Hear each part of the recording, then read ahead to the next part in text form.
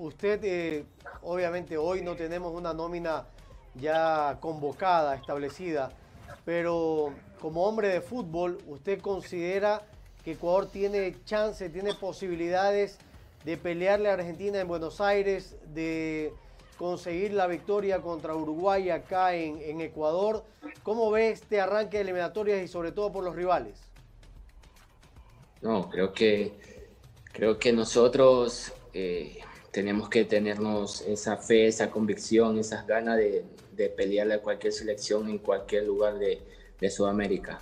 Entonces, si nos toca con Argentina y nos toca con Uruguay, tenemos que salir a, a, buscar ganar estos partidos porque es lo que, lo que tenemos que hacer porque la camisa nos, nos pide.